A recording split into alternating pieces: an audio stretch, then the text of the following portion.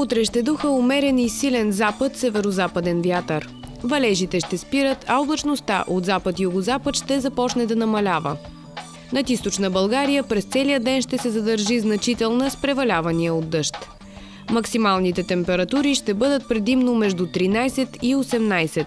В планините ще бъде предимно облачно с валежи от дъжд над 1800-2000 метра от сняг. След обедните часове над масивите от Западна и Централна България ще има по-значителни разкъсвания и намаления на облачността. Ще духа силен северо-западен вятър. В събота ще остане ветровито, с променлива, често значителна облачност. Ще има и слаби превалявания на повечето места и в източна България. Минималните температури ще са между 5 и 10 градуса, а максималните между 12 и 17. В неделния ден вятъра ще отслабне, облачността ще се разкъса над много райони и ще намалява. По-значителна ще се задържи преди обяд над югозападните райони и там на отделни места е възможно да превали слаб дъжд.